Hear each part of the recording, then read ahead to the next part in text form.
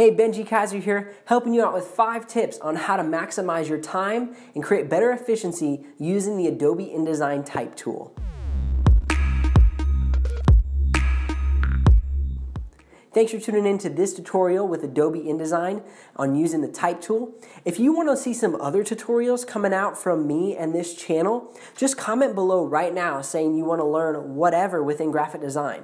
Because that's why this channel exists. It exists to help you dominate the field of graphic design. So if you haven't subscribed yet, I would highly recommend doing so. I put out videos six days per week on graphic design, motivation, creativity, and tutorials just like this. So, subscribe, hit the like button, and comment with any questions. For now, let's head on over to my screen, start saving you some time within Adobe InDesign. Hey, welcome on over to my screen here, and today I'm showing you five tips on how to use the type tool within InDesign correctly. Uh, a lot of times I come into documents and I'll see people do stuff that on a production standpoint does not work very well. So I'm going to show you five tips on how to do this correctly and some of them I'm going to show you how you've possibly been doing them incorrectly and you need to stop and use these tips. So the first one I want to look at is how I set up this document here.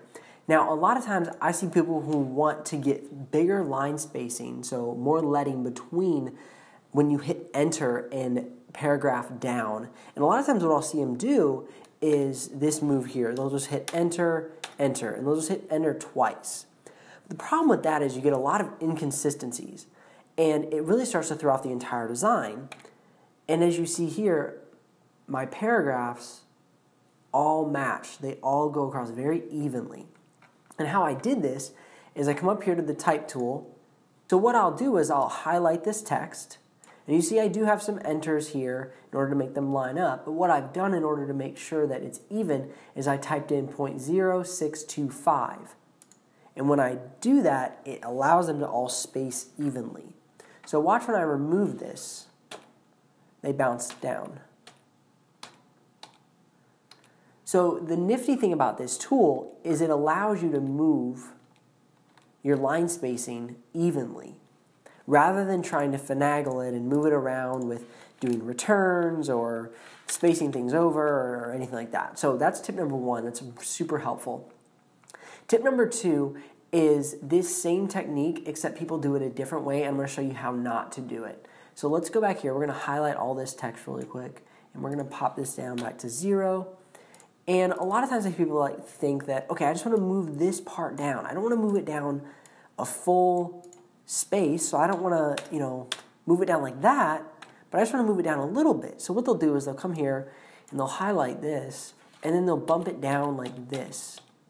And the problem is, is it's moving it out of its initial area, and then when you come back to edit this, if it's a long document, you're going to have really bad formatting issues. So avoid this. Do not do this. Rather, do the tip that I just showed you and that is bump it down with this because that'll allow it to translate evenly. And better yet, we're just going to go and we're going to add this here back into our design, 0.025, and it's going to even it out and we look all kosher, which is great. The next tip that I have is how to create a quotation mark on the outside of a sentence structure, on the outside of a paragraph. I struggled with this for a long time, and I'm going to show you today how I was able to master this. So what we're going to do is we're going to highlight this text, and we're going to bump it in, just like that. We're just going to click up in the up arrow when we click into this dialog box. Now that this one is offset, when we add a quotation mark, now you have a hanging quotation mark which is extremely helpful. It just makes it all look nice and even. Because if you didn't, and this was bumped back to zero, it just, it doesn't look as fluid. It, it looks off, honestly. So by doing this, you have a nice fluid line. Tip number three is creating a capital first letter to start your sentence. A lot of times when I was first starting out, and I hate to admit this, but I would just grab the first letter and I would just make it really big. And that's how I got it going. And you know what? It worked. And sometimes I would click in here and I would hold Alt and I would use my toggle keys and I would pull this in a little bit. And all things are cherry, and I thought that looked great. But the problem is you're messing up your editability. And that is super important in InDesign that you don't mess up the editing capabilities of your document. So we're going to Command Z all that out because that's not how we're supposed to do it. So what we're going to do is we're going to highlight this first text so we know that that's the one we're going to be working with. And we're going to do 2. So we're going to move this up to 2 up here in the corner here.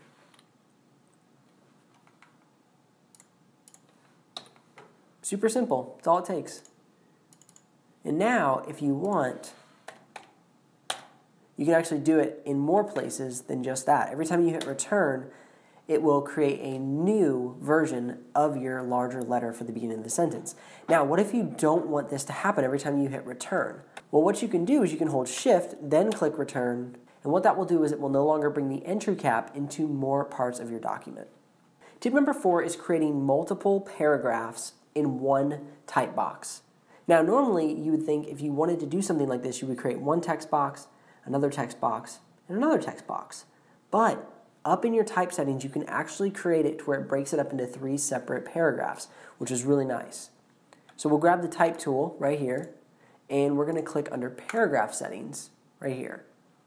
Now we go over to this section, number of columns and you can increase or decrease the number of columns you're using within your design.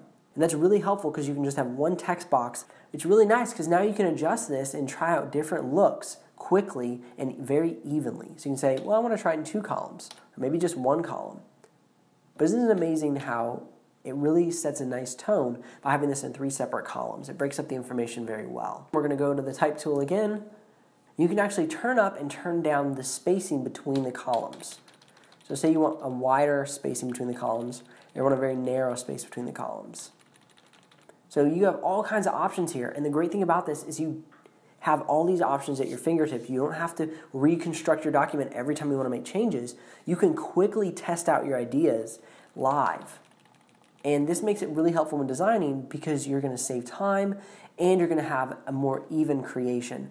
So the biggest thing with InDesign is making sure that all of your measurements are even, and these are the tools that allow you to do so.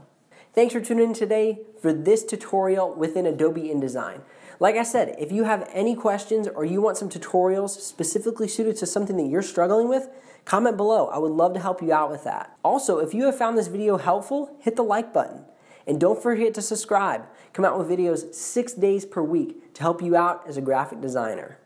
Also, before you go, keep an eye out for my full course on becoming a graphic designer. This will be a paid course, but it's going to take you through the history of graphic design, the concepts and fundamentals, as well as the three applications you need in being a graphic designer, which is Photoshop, Illustrator, and InDesign. Anyway, thanks for tuning into this episode, and I'll catch you on the next one. I'm Ben G Kaiser of BenGKaiser.com.